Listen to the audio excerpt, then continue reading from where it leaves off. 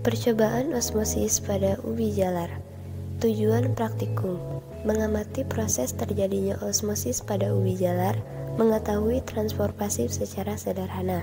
Landasan teori: Osmosis adalah proses perpindahan air dari konsentrasi pelarut yang tinggi ke konsentrasi pelarut yang lebih rendah melalui membran diferensial permeabel cairan sel bersifat hipertonis dan cairan di luar sel bersifat hipotonis sehingga air akan mengalir dari luar ke dalam sampai keduanya bersifat isotonis.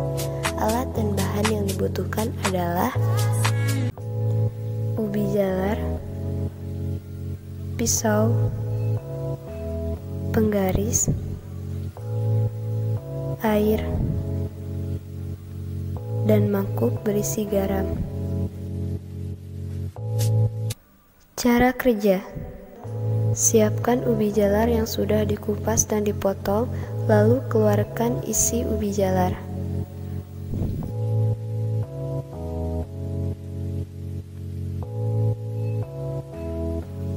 Keluarkan isi ubi jalar menggunakan pisau hingga sedalam kurang lebih 4 cm. Masukkan garam ke dalam ubi jalar.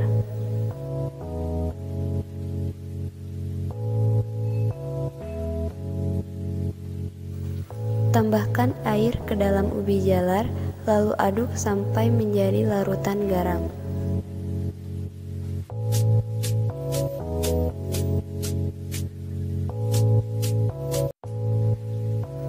Taruh ubi jalar yang berisi larutan garam ke dalam mangkuk.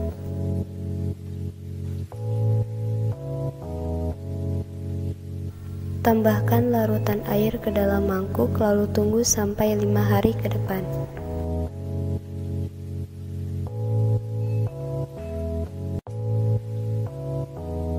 Hasil pengamatan Di hari pertama, larutan garam bertambah 1 cm dan larutan gula berkurang 1 cm dengan ubi berwarna kuning dan bertekstur keras. Di hari kedua, larutan garam tetap dan larutan air berkurang 1 cm dengan kondisi ubi bertekstur keras. Di hari ketiga, larutan garam terus bertambah sedangkan larutan air terus berkurang dan ubi bertekstur lembek.